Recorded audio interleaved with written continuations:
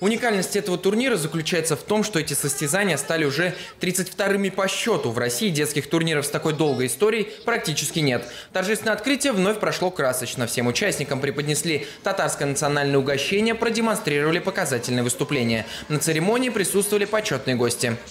Ребятки, я вас всех поздравляю. Желаю, чтобы вы проявили сегодня и команд, не только все соревнования, и командный дух, показали хорошую игру. И пусть победит сильнейший. Добрый путь.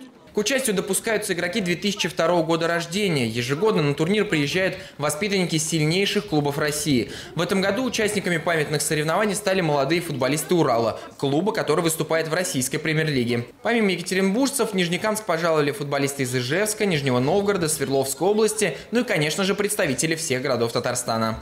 На данный турнир приехала команды со всей России, порядка 12 команд. Это 240 участников. Э, разместили мы их всех э, на территории Нижнекамского района, на наших э, детских оздоровительных лагерях.